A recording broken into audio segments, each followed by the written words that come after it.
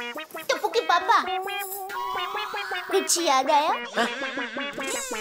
अरे ये लाल पेन देखकर कुछ याद आया कि नहीं? क्या याद दिलाना चाहती है दया?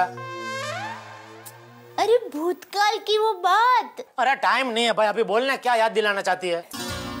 अरे शादी के बाद हम दोनों हरिद्वार गए थे।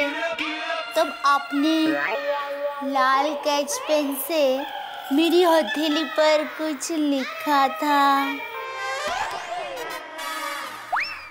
याद आया? अच्छा वो? वो मैंने कुछ लिखा नहीं था। तेरी हथेली पे एक चित्र बनाया था। एक तीर और एक दिल। बराबर बराबर याद आ गया ना? तब आप कितने रोमांचिक थे। रोमांचिक नहीं डोबी। रोमांचिक हाँ वही शिक शिक। लेकिन कितने थे? कितना था? अरे बहुत थे। तो रोमांचिक तो मैं अब भी हूँ। हम्म? चल पुरानी यादों को ताज़ा करते हुए मैं वो चित्र फिर से तेरे हथेली में बना देता हूँ।